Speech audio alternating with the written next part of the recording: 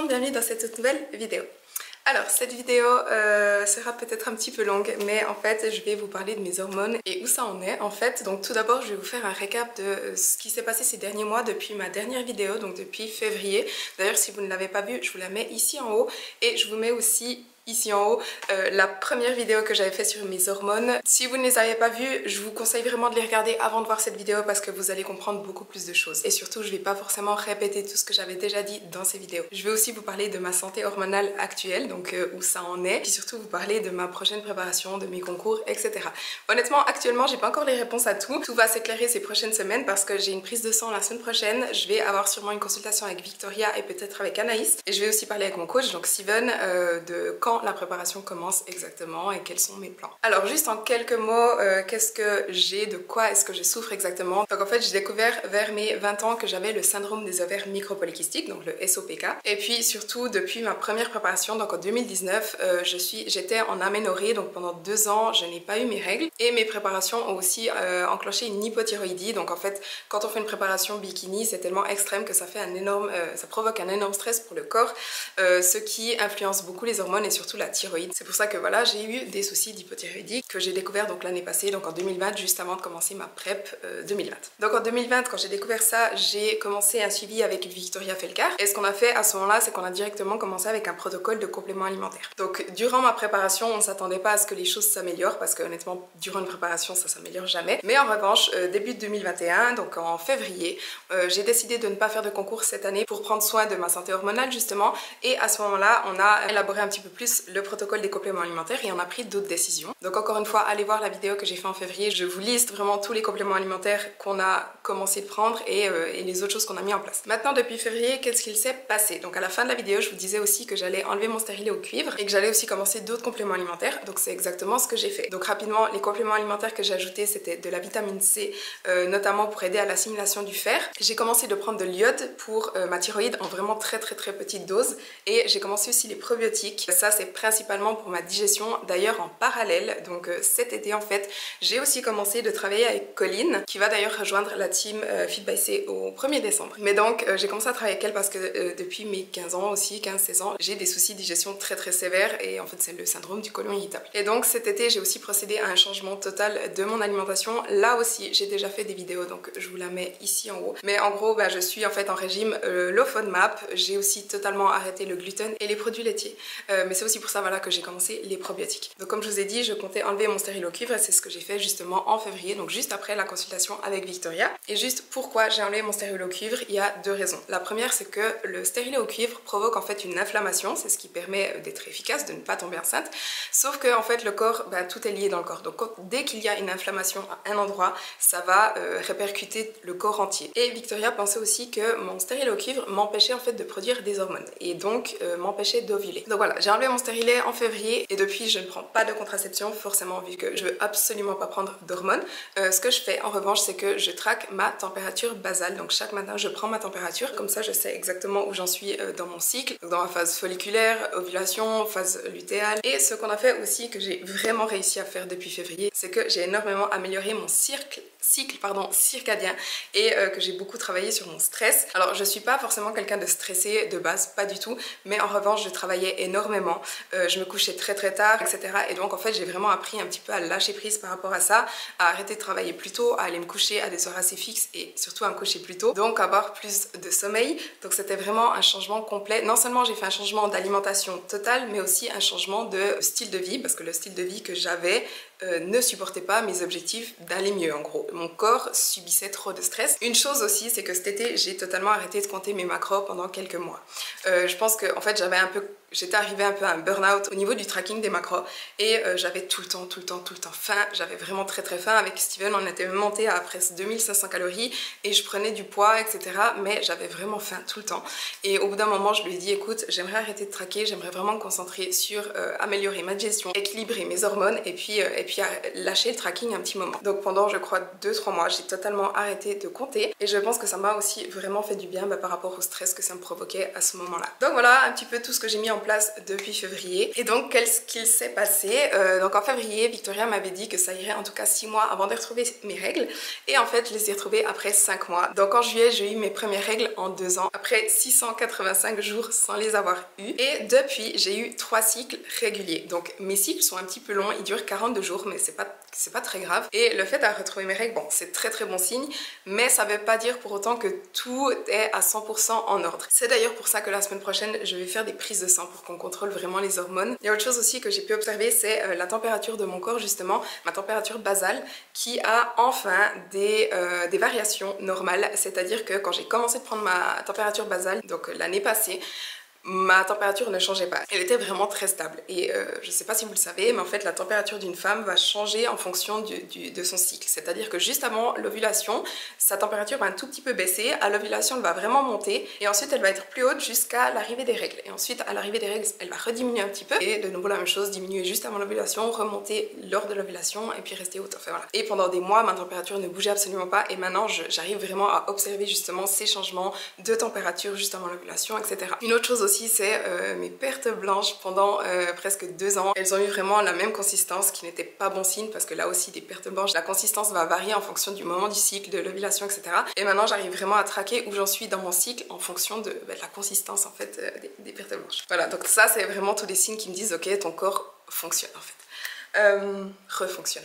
Quelque chose d'autre que j'ai pu observer, c'est des euh, SPM très très forts, donc le syndrome prémenstruel très fort. Et pour moi, c'est surtout euh, la rétention d'eau et les seins extrêmement gonflés. Et surtout, ça dure longtemps, ça dure environ 10 jours, euh, ce qui est, qui est, relativement long pour un syndrome prémenstruel. Après, c'est pas étonnant du tout. Les femmes qui retrouvent leurs règles naturellement après une longue période sans les avoir eues, ou après l'arrêt de la pilule, elles ont souvent un syndrome prémenstruel plus fort que ce qu'elles avaient avant. Parce que moi, j'ai jamais eu un syndrome aussi fort, même quand j'avais mes règles naturellement dans le passé. Une dernière chose que j'ai vu surtout, alors je tiens juste à préciser, j'ai recommencé à compter mes macros il y a euh, un mois, un mois et demi aussi, mais honnêtement j'ai même de la peine à les atteindre parce que euh, une chose que j'ai vraiment pu observer, c'est ma faim qui s'est vraiment calmée et qui s'est vraiment stabilisée en fait. Et ça, je pense que c'est un tout. C'est à la fois euh, de réguler mes hormones, à la fois de réguler ma digestion et aussi d'avoir lâché prise en fait un moment et de m'être autorisée à manger euh, intuitivement tout simplement. Donc actuellement, euh, mes macros sont vers les 2200 calories, mais en fait, il y a des jours où j'y arrive pas. Je suis plutôt vers les 2000-2100 et ça me suffit. Je suis vraiment satisfaite avec ça, ce qui ne m'est honnêtement jamais arrivé dans ma vie. Donc ça, c'est vraiment un énorme changement pour moi. Et une autre chose encore, c'est que je ne suis plus autant fatiguée qu'avant. Euh, quand on a une hypothyroïdie, ben, la thyroïde euh, fonctionne ralenti et un des symptômes c'est vraiment une fatigue, une fatigue pardon, extrême et ça vraiment j'ai vu aussi du changement. Donc ça c'est tout ce que je peux vous dire sur les changements que j'ai pu observer moi-même, donc le retour de mes règles, ma faim qui se stabilise, ma température, mon syndrome prémenstruel, etc. Mais maintenant, ben, comme je vous ai dit avant, ça veut pas dire forcément que tout est parfait intérieurement. Euh, donc lundi prochain, j'ai une prise de sang et après la prise de sang, je vais envoyer mes résultats à Victoria et surtout vers la suite et je vais surtout lui poser la question par rapport à mes concours, comment ça va se passer, euh, etc. Ok, alors j'ai fait ma prise de sang, euh, j'ai reçu les résultats, j'ai tout envoyé à Victoria. Et donc, ben, je vais vous dire ce qu'il en est exactement et ce que Victoria m'a dit surtout. Donc, j'ai pas parlé directement avec Victoria, elle m'a fait euh, une réponse en vidéo, donc des vidéos explicatives, donc je vais vous expliquer en fait tout ce qu'elle a dit dans les vidéos je vais mettre aussi des extraits. Avant de passer à ça, je voulais juste encore euh, préciser deux choses. Donc la première c'est que par rapport à ce que j'ai dit dans le début de la vidéo, je crois euh, il s'est passé 2-3 semaines entre temps et du coup je voulais juste vous dire par rapport à ma faim, donc en ce moment je n'ai vraiment vraiment vraiment pas faim. Et j'ai vraiment de la peine à atteindre euh, mes macros. Avec Steven on est passé à 2100 calories, enfin je lui ai demandé si on pouvait baisser un petit peu. Et même avec ça, en général je suis plutôt vers les 2000 calories. Du coup j'ai perdu environ 1-2 kilos, je suis plutôt vers les 64 65 kg plutôt que vers les 66. Euh, après, c'est pas grave du tout, hein, honnêtement. Euh, disons que c'est un petit peu de l'avance sur ma prep. Et d'ailleurs, c'est la deuxième chose que je voulais dire, c'est qu'on a fixé une date avec Steven. Alors, je peux pas vous mettre des clips parce qu'en fait, on s'est pas eu au téléphone. On a simplement, euh, ça se fait un peu naturellement dans nos échanges de messages. mais donc, ma prep commence officiellement le 20 décembre. Donc, à la base, Steven voulait qu'on commence le 1er janvier. Et moi, je lui ai dit, honnêtement, je préfère commencer un petit peu avant. honnêtement, je m'en fiche des fêtes. c'est pas ce qui Et puis surtout, je préfère commencer un peu plus tôt et être sûre d'être vraiment prête à temps. Et euh, pour le début des concours, on n'a pas encore de date précise. En fait, on verra en fonction de comment mon corps réagit. Donc si mon corps réagit très bien, euh, on va commencer dès mai, mai-juin. Et si mon corps a un peu plus de mal à réagir, on va plutôt commencer vers juillet. Mais voilà, donc pour euh, ce que Victoria m'a dit. Donc, il y a chose à comprendre. D'abord, c'est que euh, les deux plus gros piliers qui sont problématiques chez moi, à savoir ma thyroïde et mon système reproductif, euh, n'ont pas encore de fondation stable. Et en fait, les deux sont liés, c'est-à-dire que s'il y en a un qui est off, l'autre va être off aussi. Donc, si ma thyroïde a un peu des soucis, ça va avoir des répercussions sur mon système reproductif et vice-versa. Ce qui est bien, c'est que les deux sont en train de s'améliorer. Donc, on voit que ma thyroïde s'améliore, on voit que mes hormones sexuelles sont aussi en train de s'améliorer. Les niveaux sont en train de s'équilibrer. Your foundation is still not stable in terms of both your thyroid as well as your reproductive um, function. We have these two variables that they talk to each other. So when one goes off, the other one will go off, and vice versa.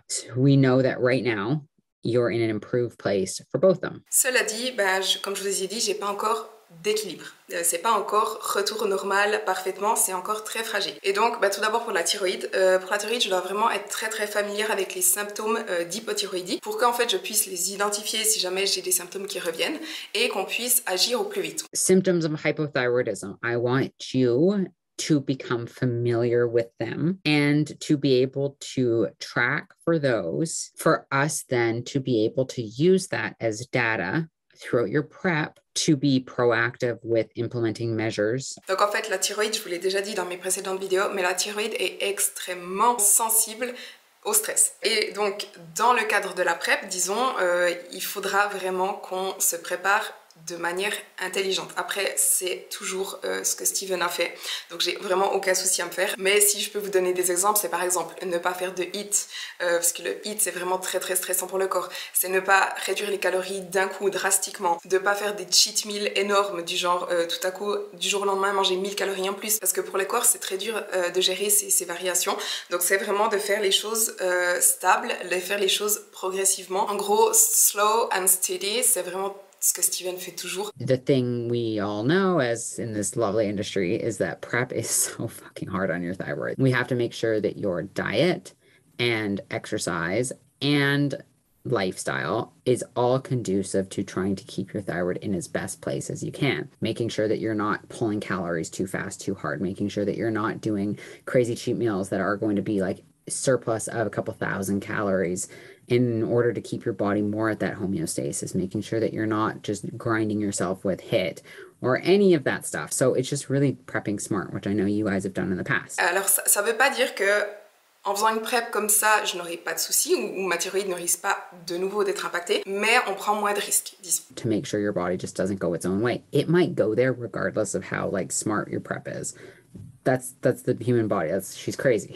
En ce qui concerne ma thyroïde aussi, donc on supposait que j'avais euh, Hashimoto, qui est donc une maladie auto-immune, puisque mon taux euh, d'anticorps était extrêmement élevé. Et là, on voit une amélioration. Donc mon taux d'anticorps est vraiment beaucoup beaucoup plus bas qu'avant, mais il reste élevé en fait. Donc on sait toujours pas tout à fait par rapport à ça, euh, peut-être que c'est génétique d'ailleurs, mais euh, on va garder un œil là-dessus. Um, your antibodies, as I mentioned, have greatly improved since um, June of 2020, but they are definitely something we have to keep an eye on. It's still elevated. It could be genetic, it could be receptor. We don't know. We don't have that data. And so, what can we do in light of not having that data? It's to be cautious, it's to be accepting that we still don't know.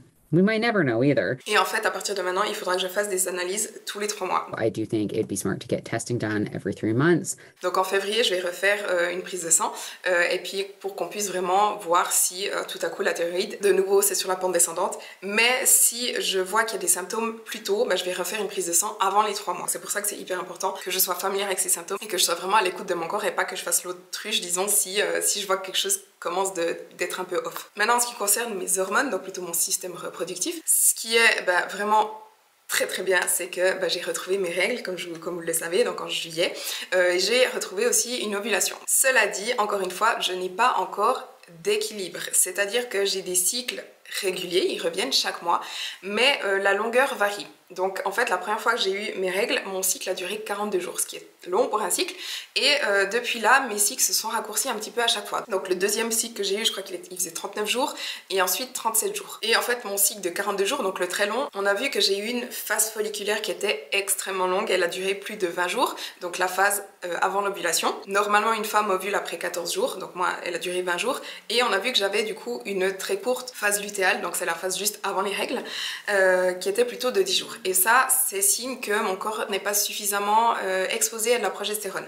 Mais le fait que mes cycles se raccourcissent et donc que ma phase folliculaire se raccourcit aussi, veut dire que mon corps a plus de progestérone, ce qui est vraiment bon signe. Donc c'est vraiment en train de s'améliorer, mais encore une fois, je n'ai pas des fondations. C'est-à-dire que ça fait pas 6 mois ou une année que j'ai des cycles exactement de la même durée, qui sont équilibrés entre la phase lutéale et la phase euh, folliculaire. Donc c'est en train d'aller mieux, comme je vous dis, mais c'est pas encore, j'ai pas encore des fondations solides. We're seeing though you are in a very dynamic place right now with your menstrual cycle. It's not that you've had this same cycle multiple months in a row. The duration of length has continued to reduce, which is positive. There is no like gold standard of like how many days do we want to see your cycle until we just develop your baseline. So that's kind of again what makes it a little bit tricky. More accurate thing for you is to look at the fact that your follicular phase has reduced and your luteal phase is increased. Donc concrètement, qu'est-ce que ça veut dire pour la PrEP? Je vais déjà vous toucher un mot par rapport à ma thyroïde, donc de me préparer intelligemment pour éviter de, pour diminuer le stress au maximum. Mais donc en fait c'est la même chose par rapport à mon système reproductif, c'est-à-dire que quand on n'a pas des fondations solides, il y a plus de risques de euh, déséquilibrer tout ça. Donc c'est possible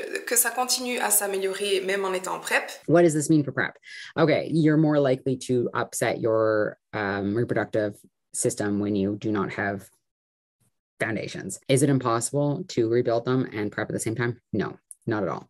Mais euh, en fait, on ne sait pas, on ne sait pas d'avance, on verra vraiment comment ça se passe. Il y a une chose aussi, c'est que je ne me suis jamais préparée sans mon stérilet. Donc vous savez que j'ai enlevé mon stérilet en février, donc c'est possible que sans mon stérilet, cette prep se passe mieux. You've never prepped um, without having your IUD. Mais du coup, bah, en fait, le principe reste le même que pour la thyroïde, c'est-à-dire se préparer intelligemment. Proactive with measures, aka making sure that you are not doing anything crazy and nothing crazy with stimulants or cardio. Like, I mean, your body is quite responsive compared to 90 probably percent of female competitors out there.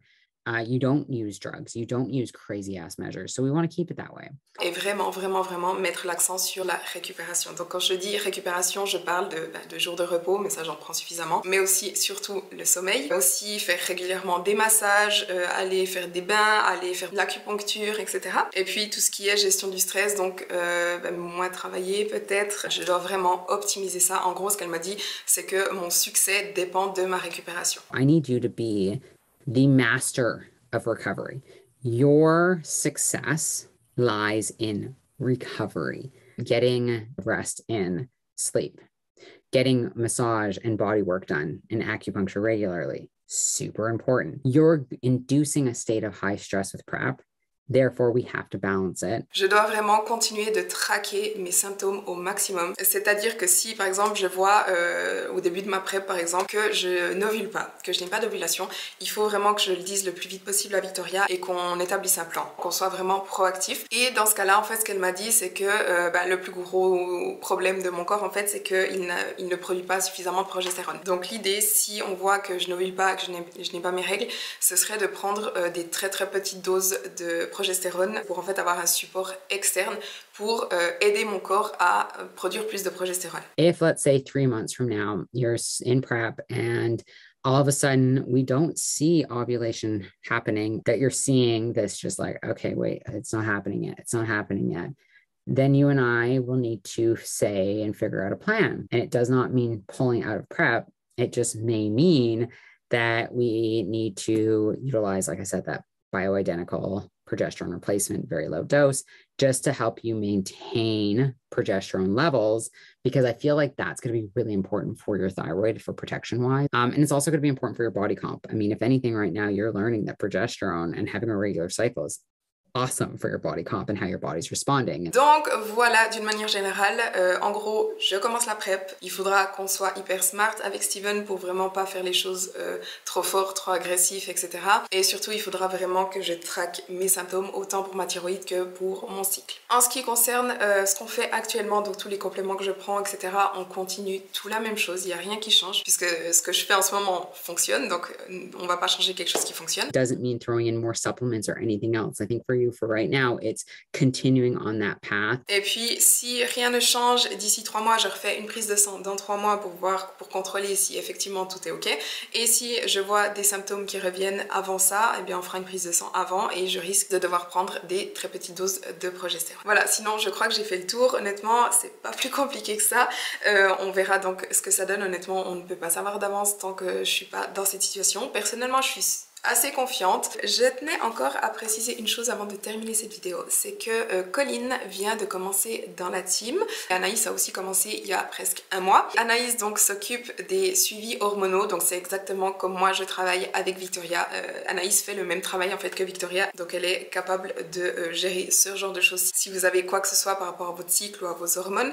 Et Colline rejoint la team donc pour s'occuper des soucis de digestion. Donc vous savez aussi que je suis suivie par Colline pour mon syndrome du côlon irritable. Mais sachez en tout cas que vous pouvez euh, faire une demande de coaching pour travailler avec toutes les deux sur mon site, donc feedbychloé.com. Je vous mets encore le lien dans la barre de description. Si vous avez des questions, n'hésitez pas encore à les poser dans les commentaires, j'y répondrai avec plaisir. Et on se voit dans la prochaine vidéo.